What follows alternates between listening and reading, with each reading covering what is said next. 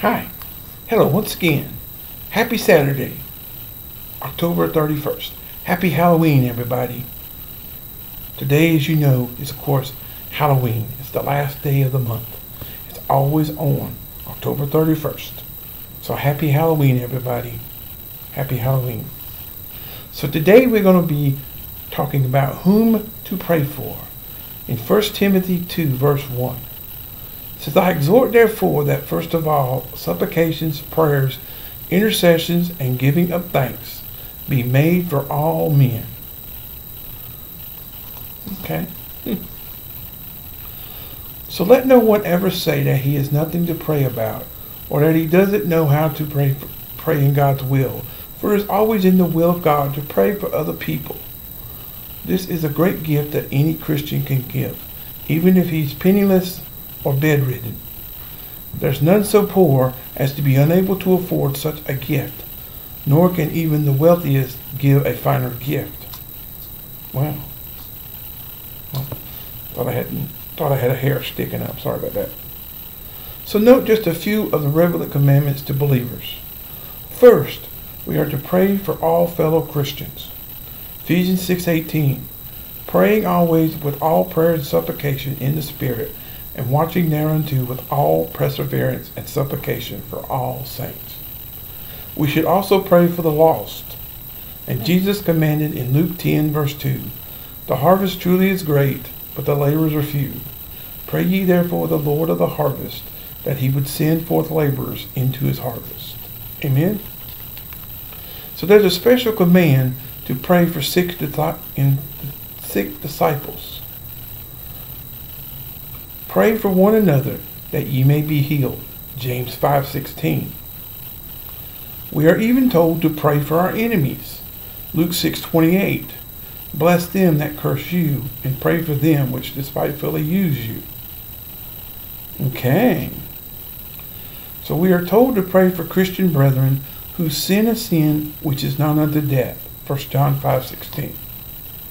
Though if the sin has already led to physical death, as in 1 Corinthians 11:30, there is no warrant for further prayer in that case. And finally, we are especially admonished to pray for kings and for all that are in authority. 1 Timothy 2:2. And for the ministries of those who pro- proclaim the gospel. Colossians 4, 2 and 4, which we'll be getting to later later on down in the study of Colossians, we'll be getting to that part. So, in short, the words of today's, the verse I started out with, 1 Timothy 2 1, we should offer up supplications, prayers, intercessions, and thanksgiving for all people everywhere. And in 1 Thessalonians 5.18, for this is the will of God in Christ Jesus concerning you. Amen? Hmm, like I'm a little, little drowsy a little bit. I'm sorry about that. I had a restless night, but um, but thank. Hope you enjoyed that, and that's it for the last day of October. Ooh, happy Halloween, everybody! So tomorrow's video for Sunday, November the first, we will be in the final um, we're going to be in the final uh, video for the word series videos that I've been doing. And we're going to be, this time it's finally going to be preaching the word.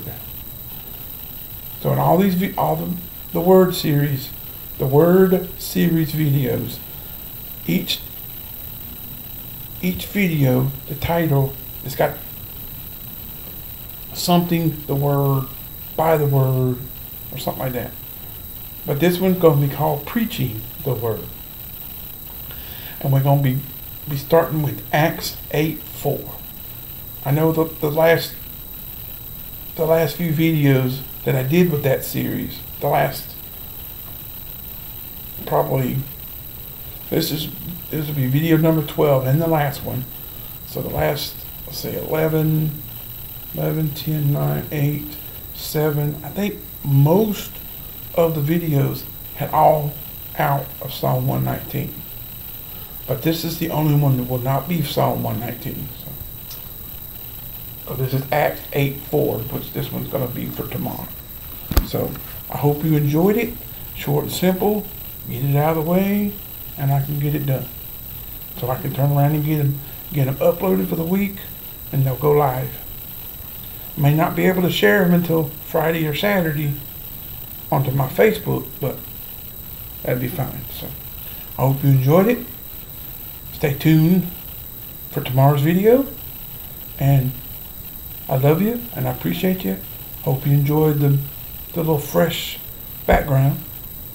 But maybe I'll be back to my old, old, old background next week for next week's video. So thanks for watching and I'll see you tomorrow. Peace out.